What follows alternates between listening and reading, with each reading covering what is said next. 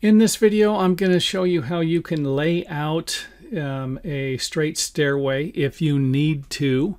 And uh, in this video, I'm not going to provide you with uh, information on how to build a straight set of stairs. You can go to the website, click on the books tab, and we do have books there that you can um, check out to see for whatever type of stairway you are going to be building. So a straight stairway like this, we can lay it out on a concrete slab lay it out on a wood framed floor, and uh, it can help us in a couple of different ways if we don't know a lot about stair building. So, as someone who's built a lot of stairs, I might not need to do this. But uh, for you as uh, beginners or something like that, or you're not quite sure, then um, probably going to help. And in order to do that, you're just going to create the stairway steps on a flat surface, the floor and uh, and create the lines that you need. So we're going to have 10 inch treads and I believe I have 13 of them here. 1, 2, 3, 4, 5, 6, 7, 8, 9, 10, 11, 12, 13. I have 14 steps.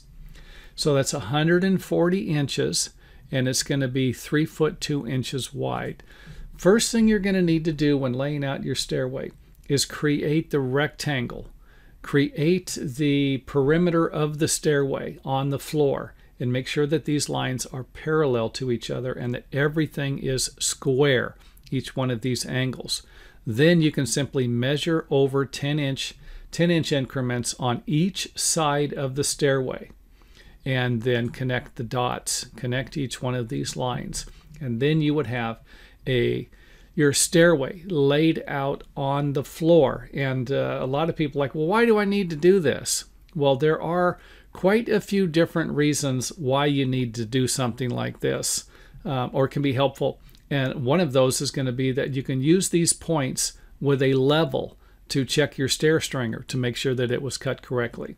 You might need to stop a handrail um, at a certain point. This is going to help you out for that. So again, this is just part of the series. I was started out making complicated um, stairway designs that people have no idea how to make. Something like this might be a little more easier, but I had to make this video here anyway. And this will give you an idea of what the stairway would look like if it had 11 inch treads, just kind of throwing it out there, whatever your tread dimensions are. Don't get stuck on the 10 inches.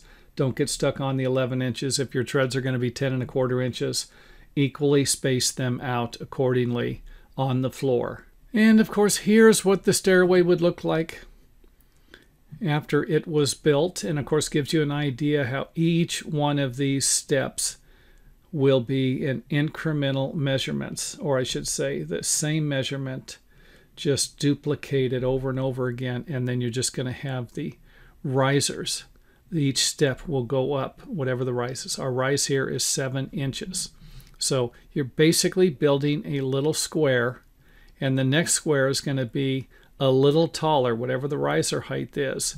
And again, you can actually do this. You can build one box at a time, you know, if that's going to make the job easier for you.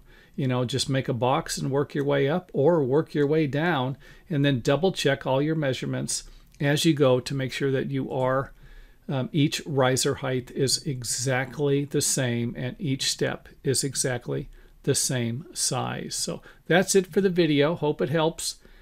If it does, hit the old thumbs up button and uh, uh, don't forget to check out some more of our videos and visit our website for more information about stair building.